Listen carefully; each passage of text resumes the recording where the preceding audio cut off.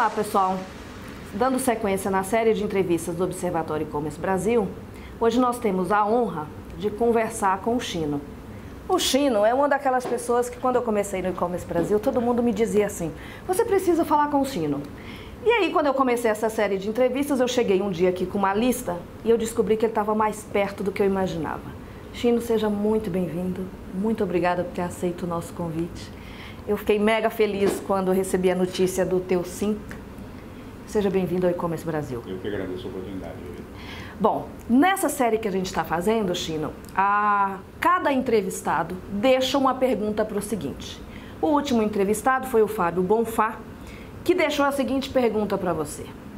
Nesses 20 anos do e-commerce, você passou, começou no online, começou o online, aliás, no Brasil, passou pelo físico, passou pela indústria, voltou para o online e agora está no físico, digamos assim.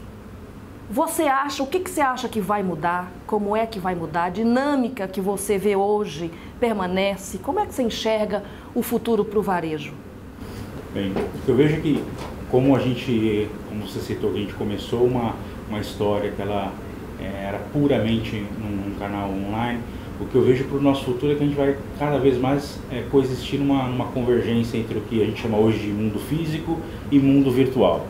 A gente ainda vive uma separação é, intensa desses dois canais. Muito se fala globalmente sobre é, a multicanalidade, o omnichannel, mas pouco é, se faz ou se fez até o momento.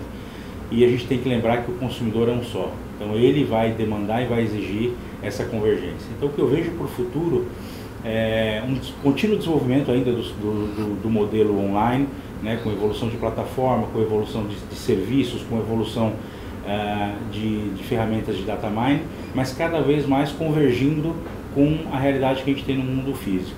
Né? Vai chegar um momento em que as pessoas vão, de fato, usar a loja física como experimentação e usar o canal online como serviço de é, captura e entrega de produtos. Uh, vice-versa também vai acontecer. Então, o que eu enxergo, o que eu imagino é que a gente vai ter uma conversão cada vez maior entre os canais no foco do cliente. Perfeito.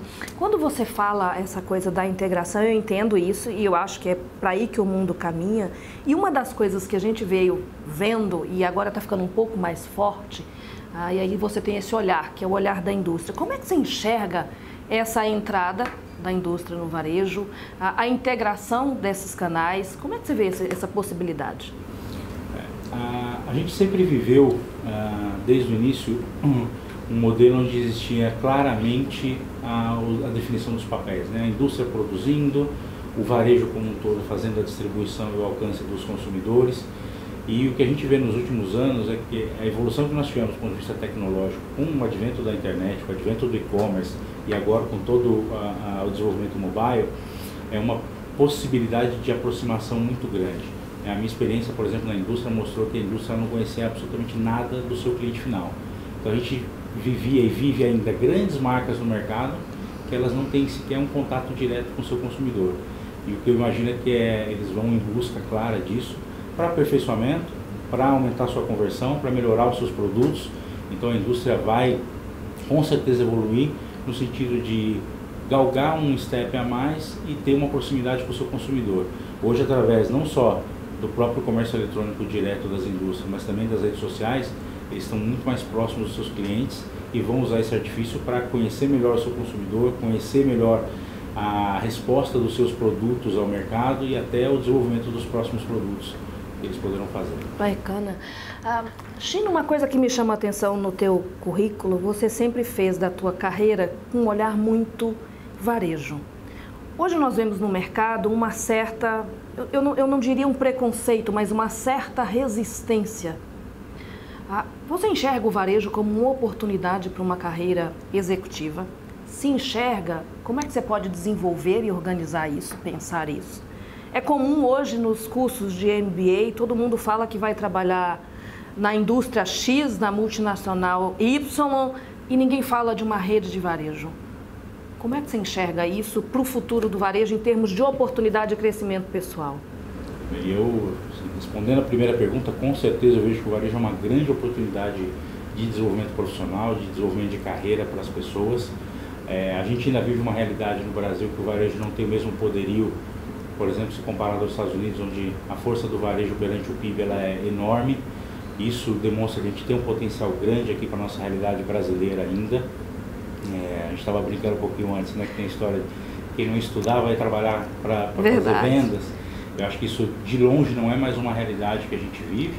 Acho que cada vez mais o varejo exige muito preparo, muita dedicação, muito planejamento, porque a realidade hoje de custos, de produção, de efetividade, ela é muito distinta da realidade do passado. Então eu acho que é uma carreira promissora, é uma carreira que tem grandes oportunidades e hoje a gente olha na realidade da economia brasileira, a gente já tem grandes cadeias é, de varejo, ou seja, grupos que são grupos com faturamento a, acima de bilhões e que com certeza vão proporcionar um desenvolvimento de carreira para as pessoas. Bacana. Chino, hoje quando a gente olha para o e-commerce, o e-commerce está fazendo 20 anos no Brasil, faz agora em maio. Você fez parte de uma primeira geração que começou isso é, 20 anos atrás. Hoje, muita gente ainda não sabe o que é e-commerce. O que te levou a apostar nesse segmento lá atrás? Se hoje já é complicado, lá atrás, o que foi que você enxergou de oportunidade, de desafio? Você veio de uma área financeira, né, que é uma área consolidada, e veio para uma área para fazer uma coisa que não existia. O que te levou a fazer essa escolha? É. Eu, eu, realmente eu comecei minha carreira no, no, no, mundo financeiro, né, trabalhando em banco de investimento. E eu peguei a primeira bolha, né, que foi a bolha de 99 e 2000, onde muito já se falava de, de internet, muitos projetos foram lançados. E para mim, é claramente, é, acho que o primeiro movimento ele foi o movimento da curiosidade, o movimento de buscar conhecer um canal totalmente novo, um canal que tinha poucos anos de existência no mundo e no Brasil a gente é, não tinha nenhuma operação, então era um fator de pioneirismo muito grande e claramente a curiosidade com é, o entendimento do potencial de crescimento que aquilo é, poderia trazer para a nossa realidade. O Brasil é um país de capilaridade imensa, a gente olha e vê que ainda tem oportunidades até hoje, né? olhando 20 anos atrás, então a oportunidade era maior ainda. Então, um canal que de cara proporcionava capacidade de capilaridade, um intenso volume de ofertas e acho que foi esses os, os grandes atrativos que me, que me levaram ao desafio do e-commerce naquele, naquele momento inicial. Ok. Uh, uma das coisas também que mais me chamou a atenção no decorrer da tua, dessa trajetória, você é sempre muito lembrado por uma terceira geração, digamos assim. Ah, e hoje eu acho que um, um grande líder ele precisa formar outras pessoas. Lá atrás, quando você começou, não tinha nada, mas você fez uma escolha por alguns profissionais. Que critério, que, quais foram os critérios, por exemplo, numa época já que não era uma área consolidada, que você olhou para poder formar uma equipe, por exemplo, lá no Submarino, quando você começou? O começo ele foi muito interessante, porque é, quando você forma uma companhia e no, no nosso negócio, onde não existia nenhum é, background, né, ninguém tinha track record do negócio, é, você tinha duas vertentes, né? ou você buscava conhecidos que é, trabalhavam e tinha proximidade, ou você buscava referências, skills das pessoas. O Bonfá que me deixou a, a pergunta, eu fui buscar ele num parque de diversões para trabalhar com a gente. Então, é, porque de fato não existia ninguém com experiência. É. Então o que a gente buscou muito na época foram é, pessoas que tinham, primeiro, muita vontade de realização, a gente estava num negócio extremamente novo, um negócio que demandava muito, muito capital humano. Né? A gente desenvolveu e criou praticamente tudo porque não existia nenhuma referência. Ou a gente teve que adaptar, seja do mundo físico, seja de outros, é, de outros é, segmentos aquilo que a gente ia aplicar no nosso negócio. Então, primeiro a, a, a intensidade e a vontade eram determinantes. Segundo, a, a própria formação das pessoas, porque você efetivamente tem que ter as pessoas certas nos lugares certos para fazer a execução. Então, entendimento da capacidade que a pessoa poderia ter para a execução daquelas, daquelas tarefas. E uma vontade de conhecimento e de crescimento. Né? As pessoas que claramente a gente brinca que foram as grandes esponjas daquela época, que estavam com cabeça aberta para absorver e para aprender. Acho que hoje são os grandes líderes aí que estão em grandes companhias hoje e tiraram proveito da, de uma realidade que a gente teve que, de fato, não dá para dizer nem que foi inovar, foi criar, porque a gente não tinha nenhuma referência naquela época. É verdade, e isso é. Hoje a gente ouve falar disso, mas é bom a gente conhecer quando você cria do nada. Bom, vamos falar um pouquinho, já que você usou uma palavra aí que não, é, não foi criar, não, foi, não era inovação. Como é que você enxerga hoje, em termos de possibilidade? Quando fala 20 anos, às vezes tem uma geração hoje que acha que está tudo pronto, está tudo feito e já sabe de tudo. Né? Como é que você enxerga hoje as possibilidades de inovação dentro do varejo, como um todo? Nessa integração de canal, nesse cliente único, como é que você enxerga isso, Gino?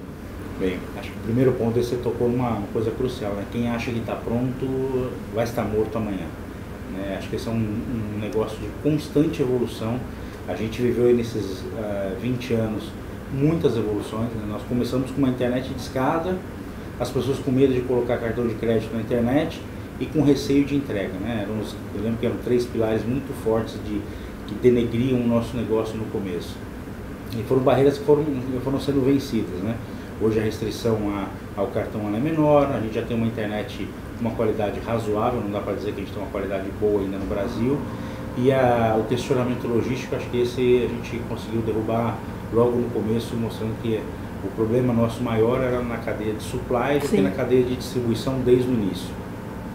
Ah, do ponto de vista de possibilidades de inovação, ah, eu acho que a gente tem um universo ainda imenso a ser, a ser exposto e, e, e atingido. A gente tem aí, teve algumas experiências que não foram tão boas, né, do ponto de vista de, até de time to market. As pessoas muitas vezes não sabem. A gente lançou em 2000 livro eletrônico, música eletrônica. Na época não existia player para tocar o, o, o, a música, não existia um leitor de, de e-book. É, então foram projetos que na época foram fracassados porque o time to market estava errado para o momento. Estou falando de uma era que as pessoas não sabem, mas um notebook custa 15 mil reais. Olha isso. Né? Então, Coisa que hoje você compra, sei mil lá, reais, mil reais. Então o acesso ele era muito restrito. Então, a primeira coisa é você estar tá, é, engajado e acertado com, com as tecnologias para o uso no momento adequado. A gente tem hoje um grande desenvolvimento de mobile, né, é uma realidade que é, você só vê crescimento. O varejo eletrônico como um todo ele cresce em detrimento do varejo físico no mundo e é por isso que eu acho que essa integração vai ser acelerada, porque o mundo físico ele precisa buscar uma adequação para voltar a ter crescimento. Se você olhar globalmente, o varejo eletrônico cresce e o varejo físico ele cai. Uhum. Então é uma necessidade do mundo é, físico essa integração cada vez maior, essa aproximação, principalmente com uma geração que agora sim a gente pode dizer que ela nasceu na internet, diferente da nossa geração que foi aprender, foi conhecer o que era o correio eletrônico, que hoje essa geração nem usa mais. Então acho que as possibilidades ainda são imensas. O que eu vejo que a gente ainda tem pouco desenvolvimento, né? muito se fala, mas pouco se faz, do ponto de vista de personalização, até hoje você lê e fala assim, ah, um case de personalização, se ainda é um case é porque é um, não está propagado, não está bem feito. Eu acho que esse é um ponto de desenvolvimento claro. O segundo é da própria experiência, né? a internet vai ter que se desenvolver como plataforma de serviço para gerar maior experimentação e experiência para o seu consumidor. A gente vive uma, uma realidade de evolução em muitas frentes, mas a plataforma de fazer negócio hoje é a mesma de 20 anos atrás. É o site com as suas páginas, com os seus detalhes de produto, Acho que isso foi uma coisa que evoluiu pouco, Sim. de fato. É, e acho que tem uma, uma, uma gama imensa de oportunidades para evoluir nesse sentido, ou seja, como melhorar a interação e a interatividade do consumidor com, com o produto final. E, obviamente, toda a parte de rede social integrada a isso, né? seja a parte de social commerce ou mesmo a, a integração através das redes sociais e deve trazer um desenvolvimento para o varejo como um todo muito grande. Eu acredito nisso também, essa, essa sinergia entre, entre canais e, e entre entendimento de para quem é que você vende e o que é que você vende, como é que você vende. É, acho que varejo vai ser mais, mais tecnologia, mais serviço para o outro. Né? Eu acredito muito nisso. Bom, Chino, nesses 20 anos você viu muita coisa, aprendeu muita coisa, mas por incrível que pareça, ainda tem varejista hoje que pergunta se eu preciso pensar no online. Eu gostaria que você deixasse a sua visão profissional, pessoal, para essa geração de varejistas, independente de porte e segmento, com relação às oportunidades e o desafio que tem em usar a internet como um canal uh, de vendas, de relacionamento para o futuro. O que, que você está enxergando? Bem, acho que hoje não existe mais dúvida né, da realidade da internet é, no mercado global e no Brasil a gente tem hoje mais de 50% da população brasileira que, que acessa a internet então eu acho que todos têm que enxergar o potencial é, e tirar proveito disso, seja através simplesmente de uma plataforma de comunicação ou através de um modelo integrado com compras, porque o mercado demanda isso. Se você remar contra o mercado, ou você tem que ter um business de nicho é, estrito, que você de fato é, necessita drasticamente da experimentação, ou você tem que ter amplitude para que as pessoas é, te, te achem, te encontrem nesse mercado e que você possa proporcionar o serviço desejado para eles. Então, claramente, é, eu na minha leitura ficar fora desse negócio é perder oportunidade, né? Então, através de diferentes formas que você tem, através das redes sociais, através do, do, do, do comércio eletrônico, através simplesmente de uma, uma ferramenta de comunicação, estar fora hoje desse universo de internet é estar fora do mercado potencial que tende a crescer e dessa geração nova que de fato vai usar isso como ferramenta, seja de é, contratação de serviço ou até de conhecimento e informação. Bacana. Chino, para a gente finalizar, eu gostaria que você pensasse numa pergunta para o nosso próximo entrevistado, para a gente levar essa série aí até a celebração final em julho. Qual seria a pergunta que você deixaria? O Quiroga, né? É. Meu, meu eterno amigo e concorrente Quiroga. é, pessoa que eu gosto e valorizo muito. Ah, eu vejo que uh, hoje eles, na, na, operação de desenvolvimento, já estão fazendo um trabalho é, grande nesse ponto, mas a pergunta que eu deixo para o Quiroga é como ele imagina é, que vai de fato vencer a barreira e construir um modelo multicanal, um modelo omnichannel, que hoje a realidade que a gente vive ainda é uma realidade de conflito entre o mundo físico e o mundo virtual, e essa é a grande barreira que a gente precisa vencer como eu falei no início, o consumidor é um só, então a gente tem que fazer uma prestação de serviço única enquanto uma bandeira, enquanto uma, uma companhia. Então, a minha pergunta para ele é como ele imagina vencer as barreiras e os desafios que nós temos hoje, né, para constituir um único negócio do ponto de vista do consumidor final. Bacana, muito obrigada, Chino. A gente fica por aqui e mais o Observatório E-Commerce Brasil. Até a próxima. Muito obrigado, Vivi, pela oportunidade e até a próxima. Obrigada, Chino. Até mais, pessoal.